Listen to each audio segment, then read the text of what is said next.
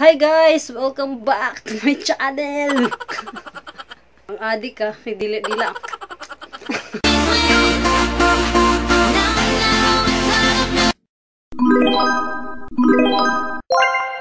Hi everyone! Ed, nandito na naman ako. So guys, meron tayong i-review yung product. Nagamit ko na ito kahapon. Kaya lang gusto kong i-share sa inyo kung gaano to kaganda tong eyeliner na to sa sobrang murang-mura. Ganito lang yung packaging oh. Ayan oh.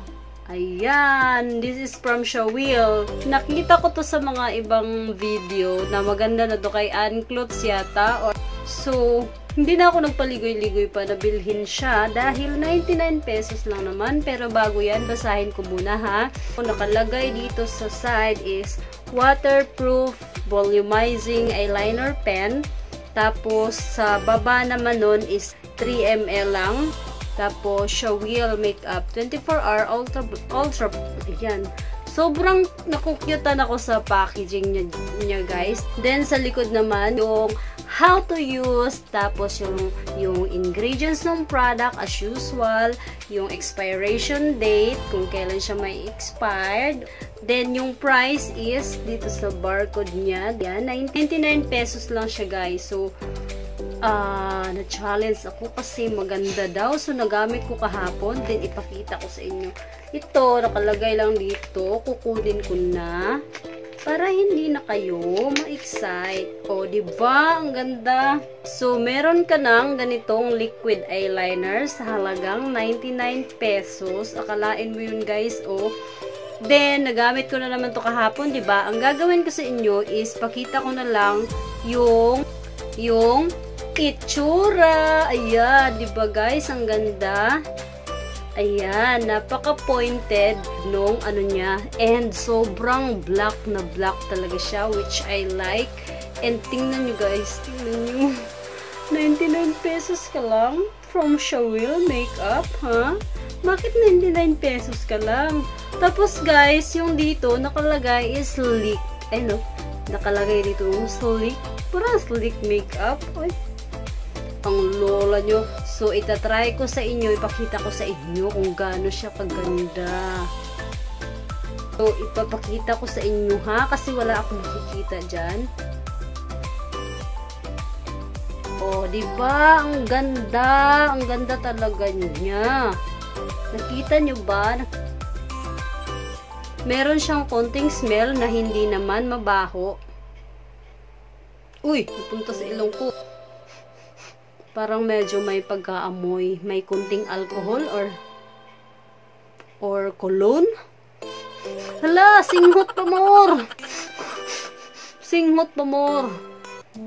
So, habang tumatagal, wala na akong naaamoy kasi, ewan ko ba, pero wala talaga siyang amoy, pero meron siyang amoy konti. Basta hindi ko maintindihan. And, what I like about this product is mabilis siyang matuyo and sobrang black na black siya.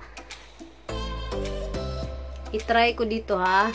Nandito na ako para i-try natin to. Charan! Ta-try natin sa ating mata. Hindi tayo expert dyan, pero isusum natin para makita nyo naman.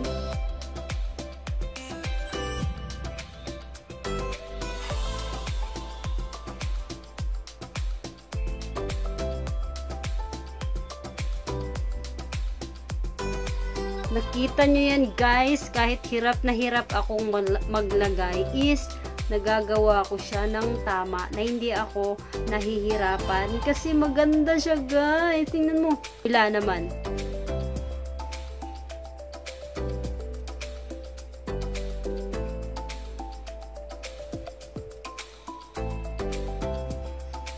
So guys, hindi na ako magpapakita ng clip na na ma-prove ko sa inyo na okay sa akin tong okay sa, sa akin tong liquid eyeliner na to.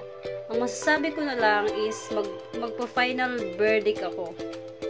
So, ayan na yung itsura sa eyes ko. So, hindi ko nga ma-perfect. Pero, sa pumagitan nito is napaka-pointed.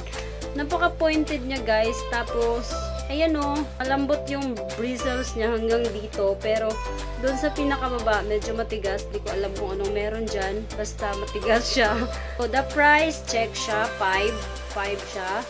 Packaging, 5. I love it. Sa halagang 99, price niya 99, din meron ka ng ganitong ganitong liquid eyeliner na maganda naman and sulit naman yung pera mo for for the price, sulit na sulit, hindi ka magsisisi guys. Tapos guys, eh, gustong gusto ko yung pagka waterproof niya, matagal siyang maburas pag nag-oily naman yung ano mo, yung nag-oily naman yung dito mo, yung yung skin mo, yung bandang eyes is hindi naman siya nabubura. Medyo kumakalat lang konti pero hindi hindi siya halatang kalat kasi nandun lang siya, nakastick lang siya sa sa ano mo, dito sa nila, nilagyan mo. I like it kasi kasi ang, ang ano niya, ang, ang dali niyang i-glide. Tapos, tapos, parang hindi talaga siya 99 pesos. Kaya, okay na okay. Tatanungin niyo ba ako kung magre-repurchase ako? Yes naman, magre-repurchase ako niyan kapag naubos. And okay na okay sa aking product na to. And maire-recommend ko siya sa inyo na mga medyo low budget pa lang or kahit high budget ka kung magustuhan mo naman yung product. Anin mo naman yung mahal pero hindi ka naman mahal. Joke.